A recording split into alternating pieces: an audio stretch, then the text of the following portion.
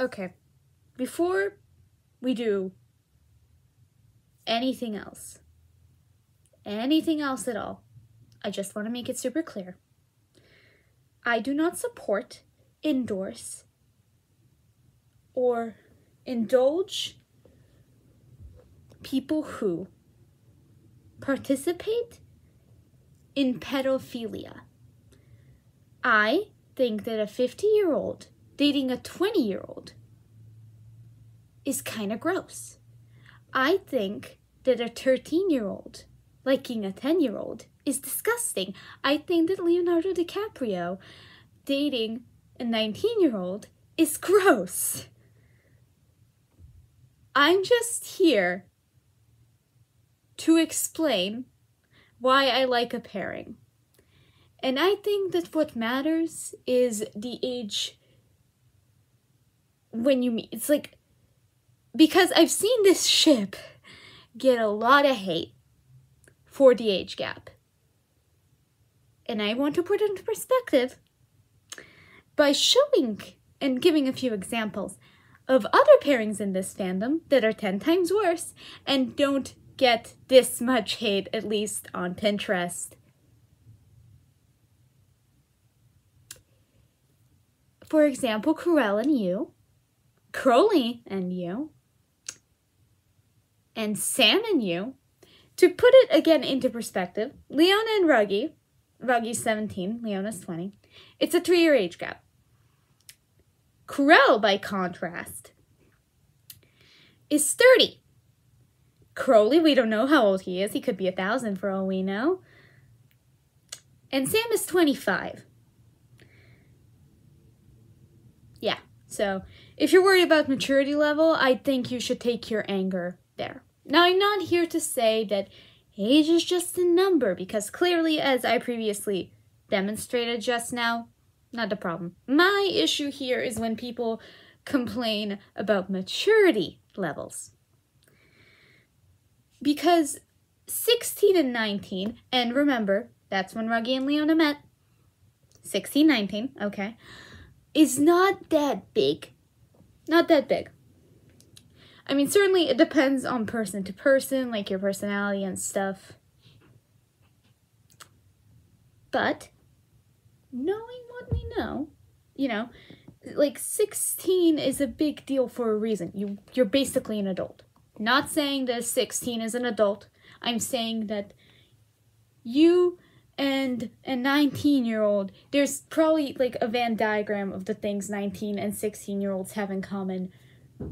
And, and those circles do touch. They do touch, right? Like,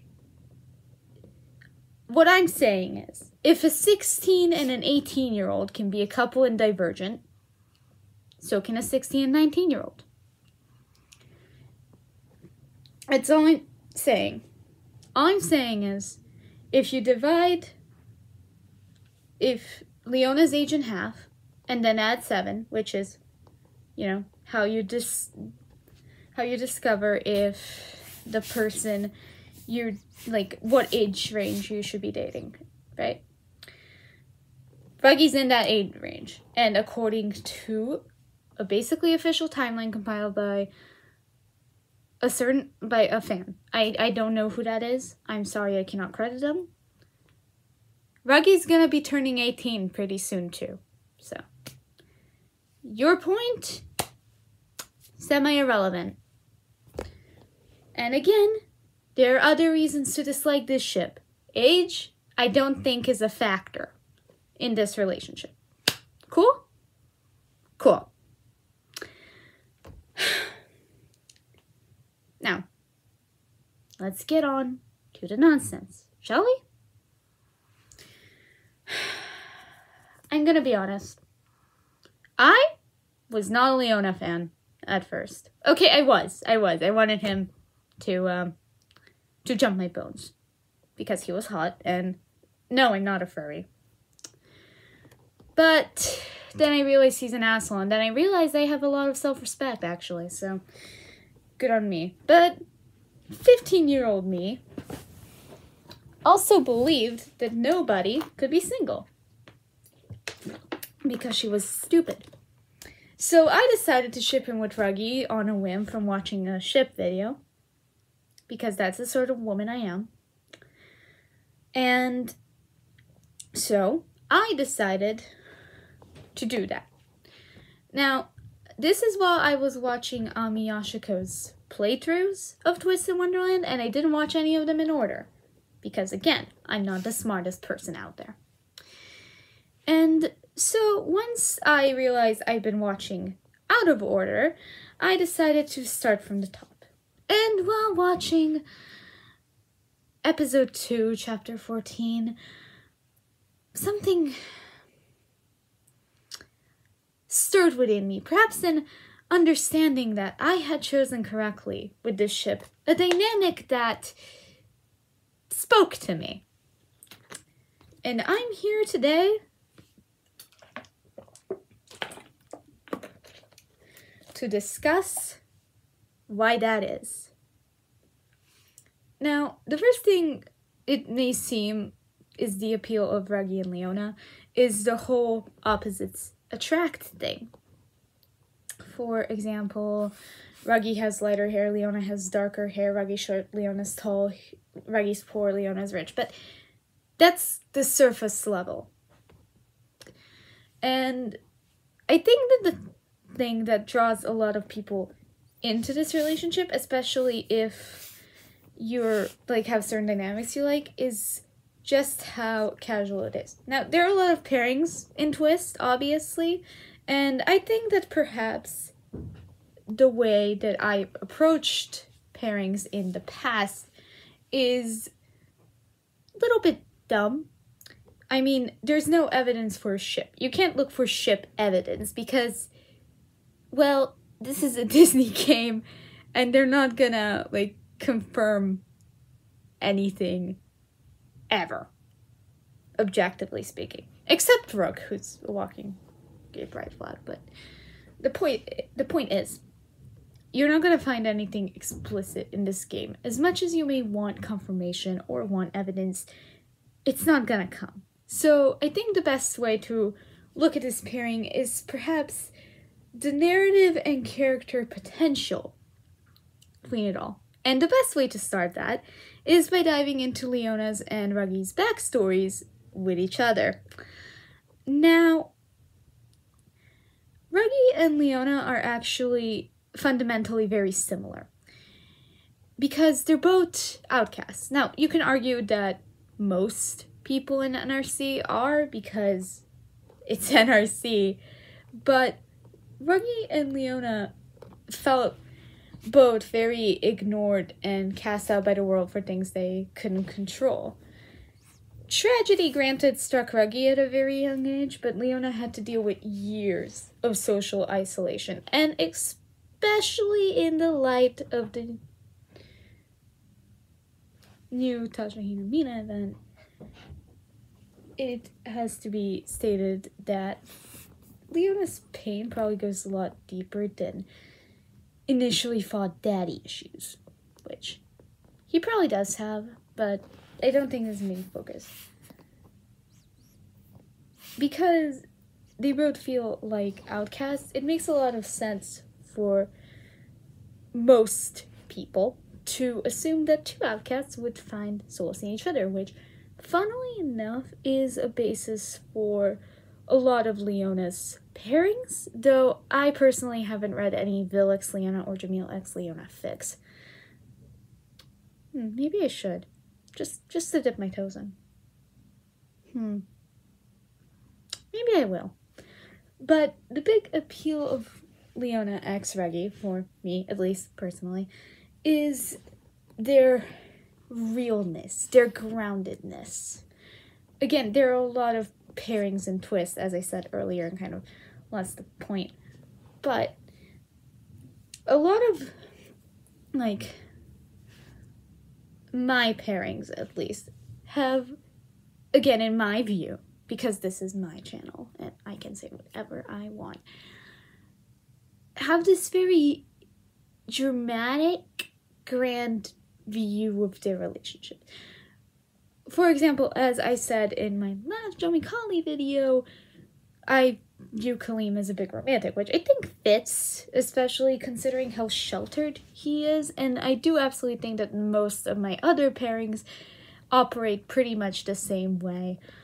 But Ruggie and Leona, I think, is fair to say, probably, if they were in a relationship, wouldn't act like that. Because their relationship, their entire way to interact around each other is very friendly. Like, not friendly as in, like, you know, they're very close and, you know, buddy buddy with each other. No, but, like, in that sense that you kind of slag off your friends, you kind of make fun of them. Like, this very casual atmosphere. It has a very casual tilt to it, which a lot of other ships that I have don't.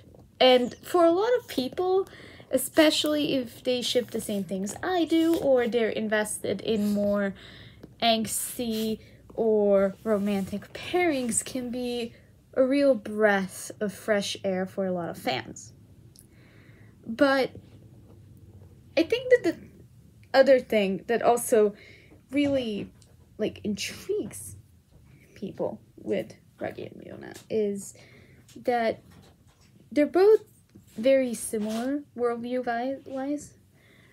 I wouldn't say nihilistic necessarily, but very um misanthropic basically. They have a very jaded view of the people around them and the world because it treated them both very harshly as kids and as people as they grew up. Obviously, Ruggie had it a lot, lot worse. But there's a camaraderie in that. There's a sense of understanding in that sense of like, you know, skinship in that sense. And again, that doesn't just apply here. But the reason why I think that this relationship really works is because Ruggie and Leona, in grand scheme of everything, kind of only have each other. Now, I'm not saying that they don't have any other friends or that any other pairing with them is invalid because I can absolutely see the potential of any pairing out there. Again, unless it's pedophilic, uh, and we already talked about that, or incestuous, I can see merit in most pairings. But the reason I think it works here is because viewing it from every other like perspective, Ruggie's social net is very wide, but it doesn't go very deep. You can't really tell that he's tight knit with a lot of people in NRC because he isn't. It's a spectrum of very shallow relationships because you don't really meet with anyone on the same wavelength. I think it's the same with Leona, especially considering that being house warden, people seem to worship worship everything he does. Now, that's not for every dorm leader, though Vil and Malleus certainly do fall into that category. But I think for Leona it's even worse because he's probably very used to people not being honest around him because he's a prince. And I think that like for Ruggie to be so Ruggie, who's so like for Ruggie to be so blunt and so honest with him, it would be a bit intriguing for Leona, perhaps. It would be like a change of pace and like very interesting. And obviously, a lot of people are blunt to Leona, which again points to merits in multiple ships. But Ruggie's the only one who's gotten so who's like so close, who's truly able to call Leona and his family out on their shit because he has experienced it so personally. And I think that him and Le- Leona could, and probably did, absolutely bond over everything the royal family and society as a whole has put them through. And they probably view most of the people at NRC as privileged, little talented, special snowflakes who got here by luck and not by hard work and have had everything handed to them. And I could absolutely see it. And for Leona to be the only person Ruggie tolerates, like, not the only person, the only rich person, my bad, uh, who Ruggie really tolerates and cares about because Ruggie does clearly care about Leona. They clearly align on a lot of moral and like worldview things.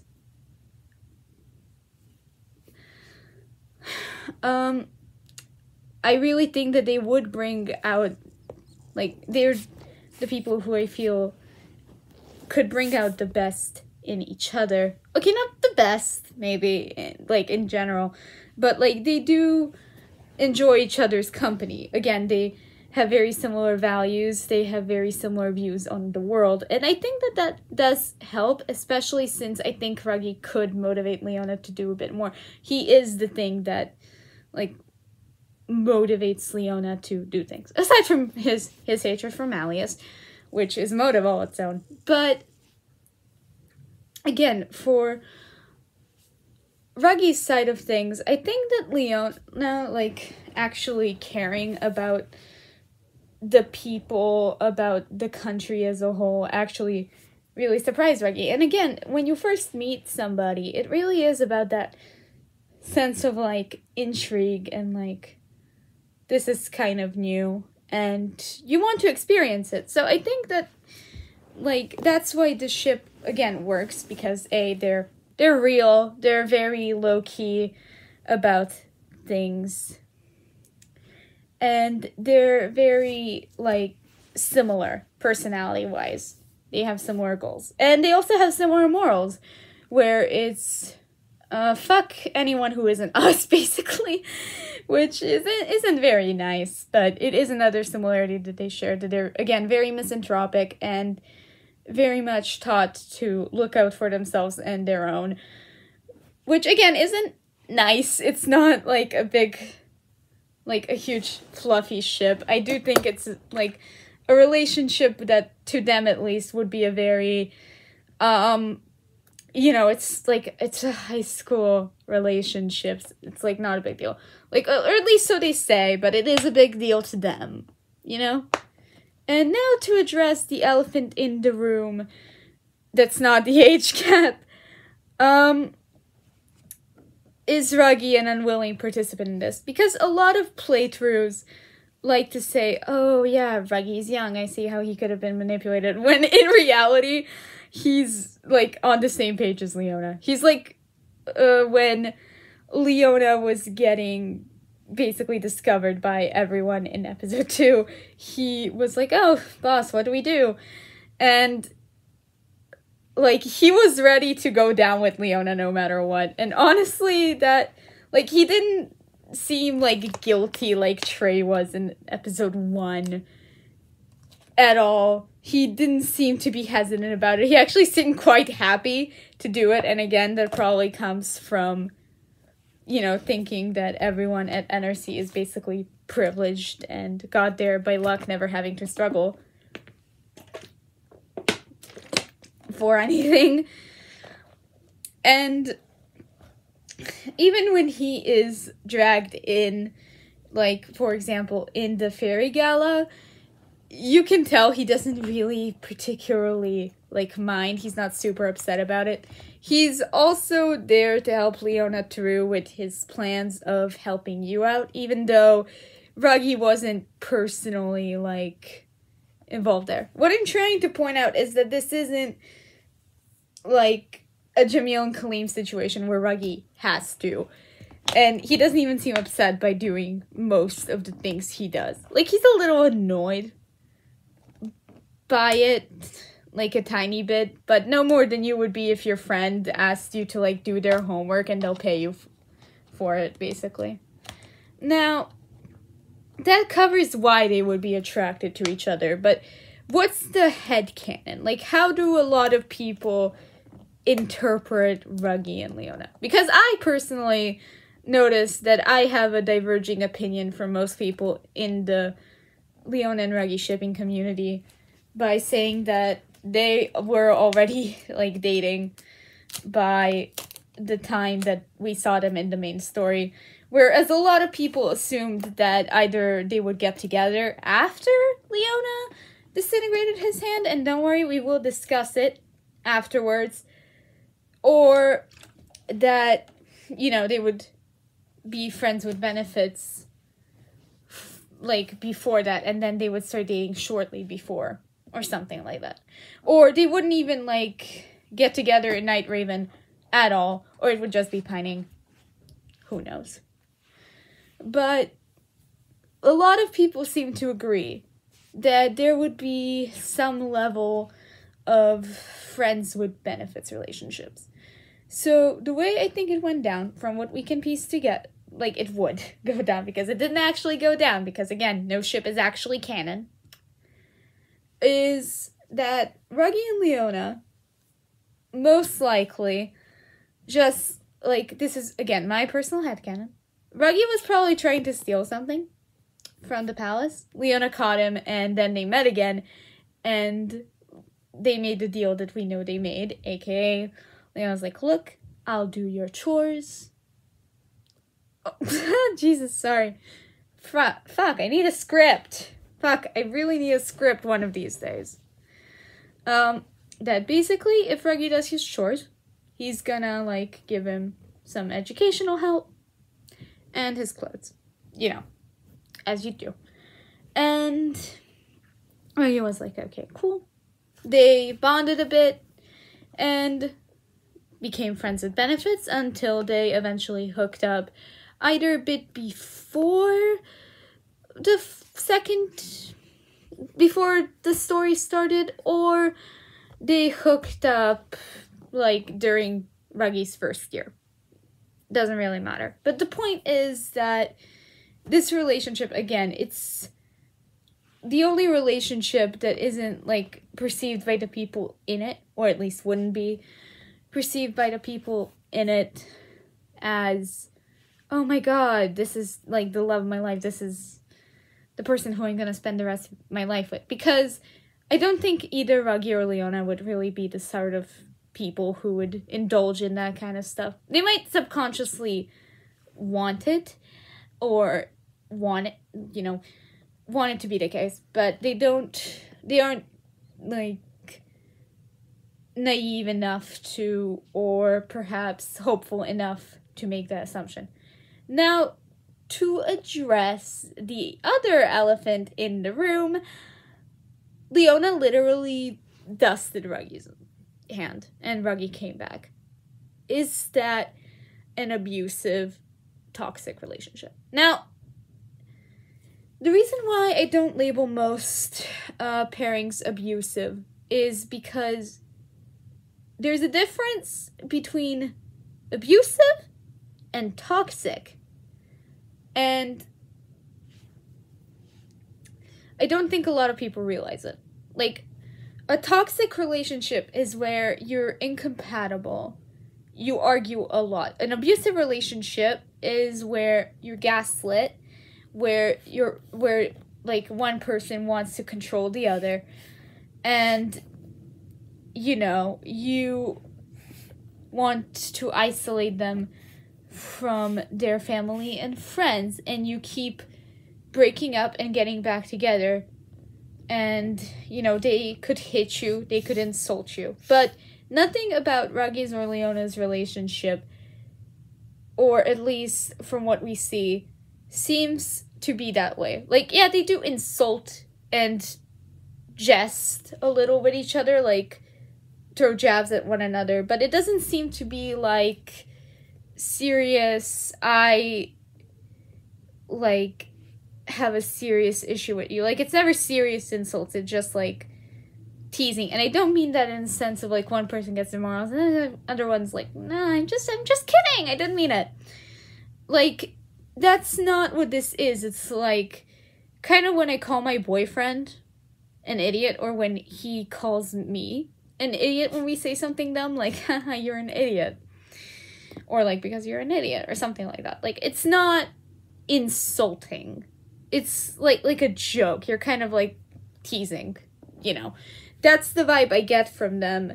And because it's not a cycle, or at least most people don't interpret it as breaking up, getting back together constantly, and you know, just the string of emotional abuse. Though I'm sure, I'm sure that there are like fanfics or, you know, things out there that do depict their relationship that way. I'm sure because people like to explore messed up shit.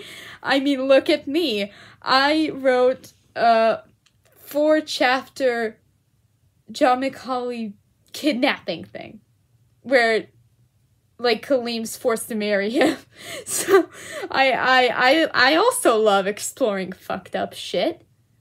Um but no, I don't think that this relationship is abusive.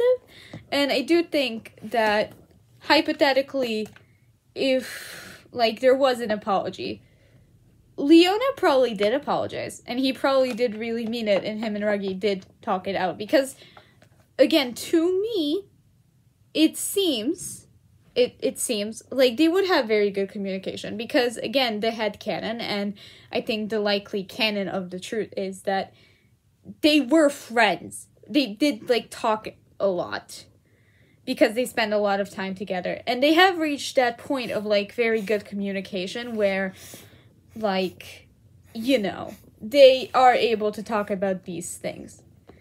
And that would be still a huge breach of Ruggie's trust because, again, as I mentioned before, Leona is kind of the only person, like rich person, who's proven to care about Ruggie's like life and conditions and everything. So it would still be a huge blow. It would still be a problem. But I do think that unlike Jamil and Kalim, they would actually be able to talk it out. And again, Ruggie might have not even taken it that personally since we can see that it was mostly Leona trying to like not project necessarily, but he was spiraling with all his insecurities in a moment we which is not an excuse for basically Thanos snapping somebody's arm out of existence, obviously.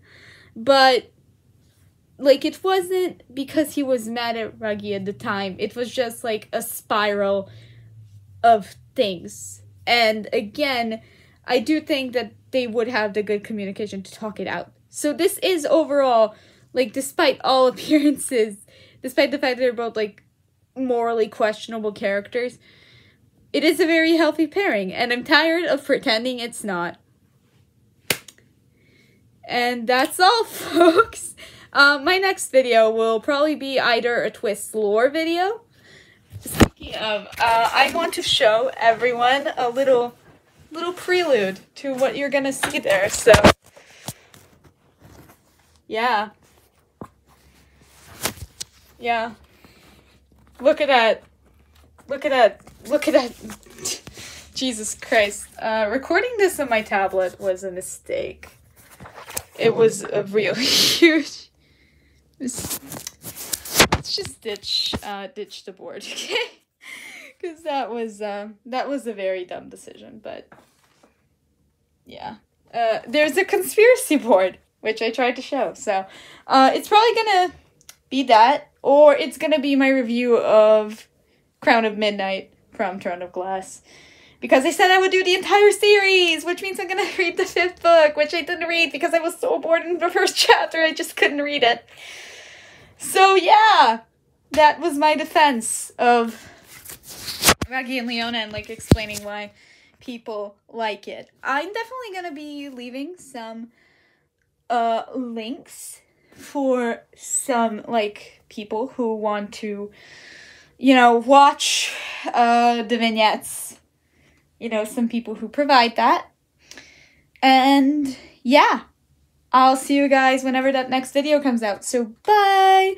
And yes, I was going to record this on Valentine's Day, but I was super tired. Bye!